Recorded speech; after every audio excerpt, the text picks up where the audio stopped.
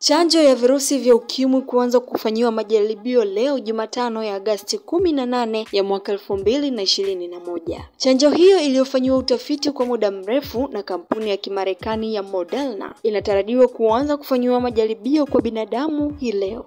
Hatua hii imekuja baada ya kampuni hiyo iliyotengeneza chanjo za ukimwi aina mbili kufaulu hatua za awali za majaribio, hivyo kuanza kutumiwa kwa binadamu katika awamu ya tatu.